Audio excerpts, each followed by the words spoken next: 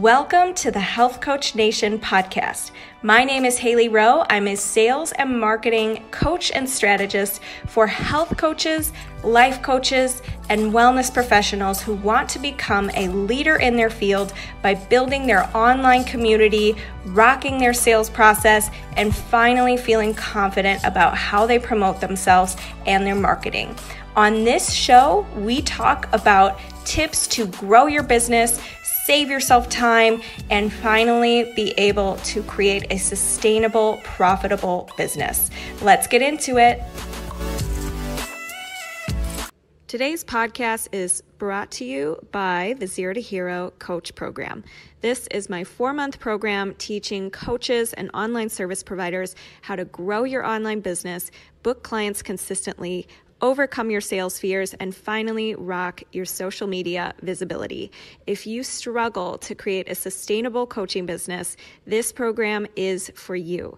Check out haileyrowe.com and book your free strategy call with my team or myself today. Thank you.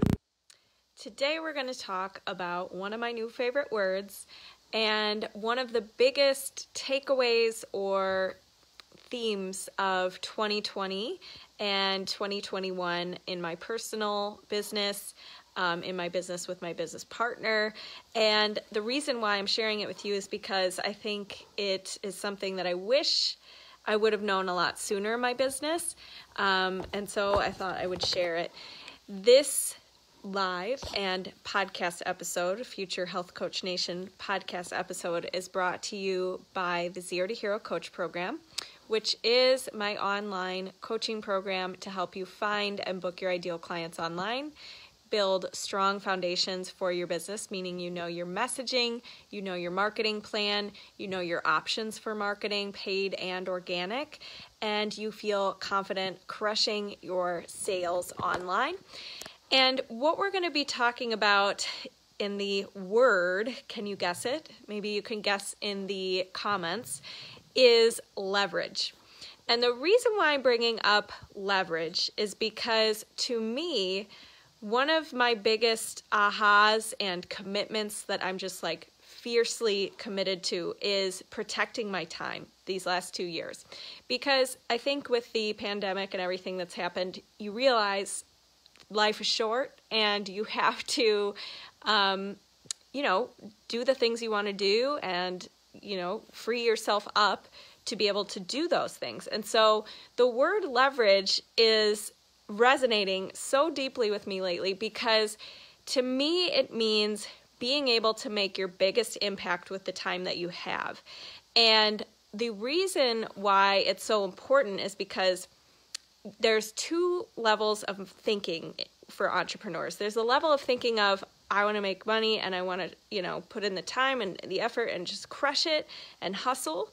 And then there's the level of, yes, I, you know, you might have to do that in the beginning of the business, but there's also a second level of thinking where you're thinking, I want to make the most impact for my time. It's not about how much I do and check off of my to do list, but I want to have the most impact per hour or per unit of work that I possibly can have. And so, in order to shift into a real stage where I felt like I was leveraging my time, I had to face a lot of of changes in my business, meaning I onboarded a team to help me with my calls um, with potential clients. And that was really hard because I thought, well, what if, you know, what if this happens? What if this happens?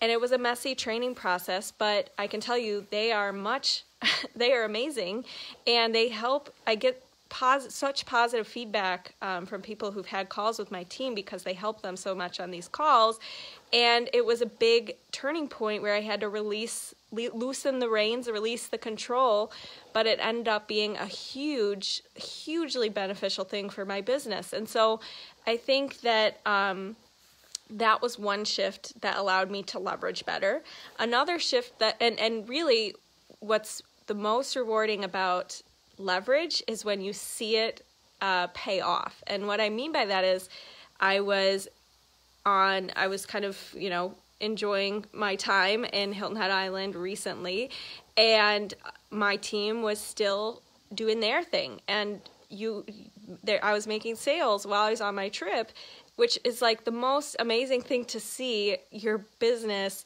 come full circle and it's not just you anymore.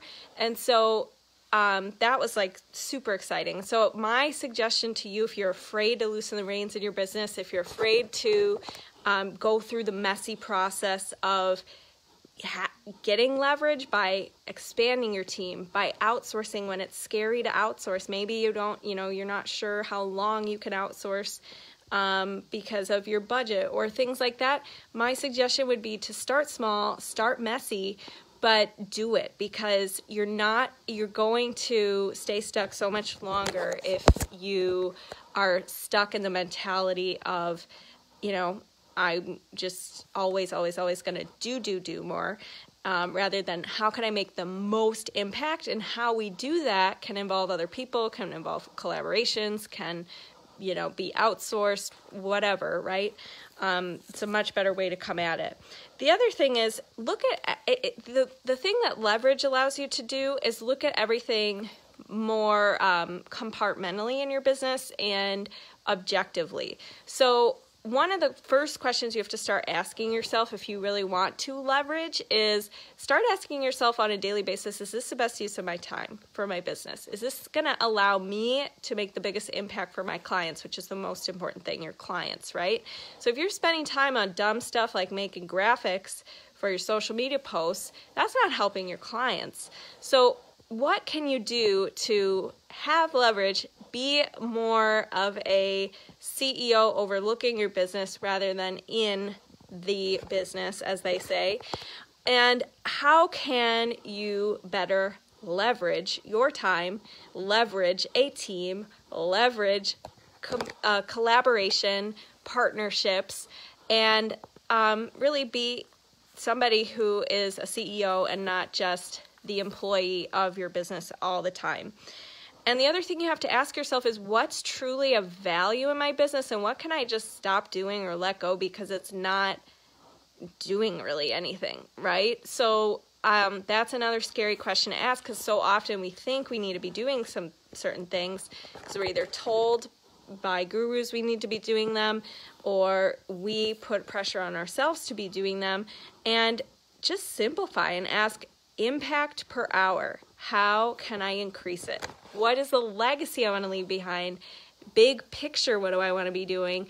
And now, on a detailed level, how can I do this in a way that's leveraged?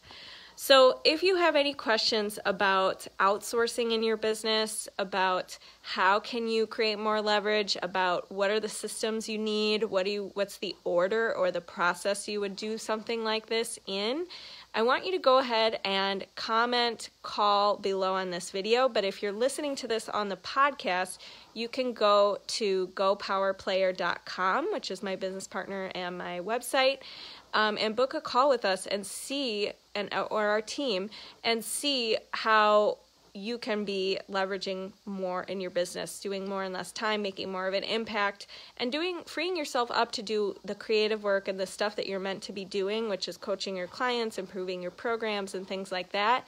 And um, and we could talk more about that on a call.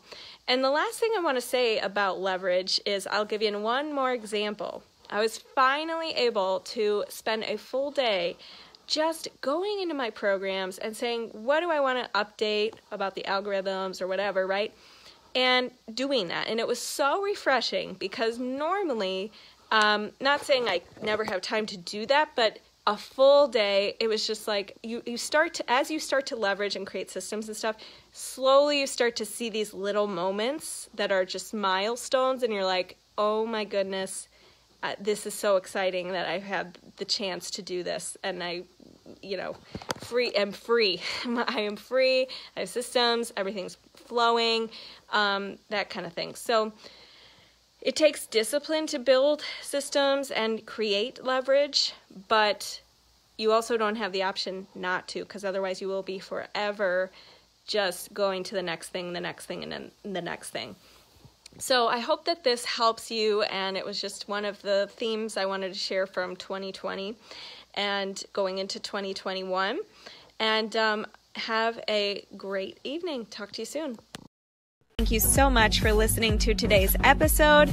And if you liked it and want to reserve your very own free sales audit, go to haileyrowe.com slash strategy hyphen call to book your very own free sales audit. On the call, we'll talk more about the common concerns you get from your ideal clients, how to overcome those concerns, how to coach through objections, how to change your mindset around sales, and improve your sales process so you can be closing and converting more clients. I can't wait to connect with you and go to haileyrowe.com slash strategy hyphen call to take the first step. Thanks so much. Have a good day.